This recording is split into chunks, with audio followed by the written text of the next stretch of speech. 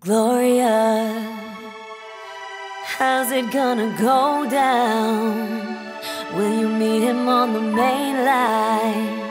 Or will you catch him on the rebound? Will you marry for the money?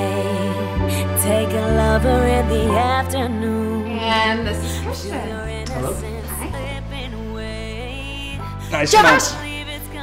Oh my god. Just one problem though. What's that? I do not have your number. Gloria, yeah.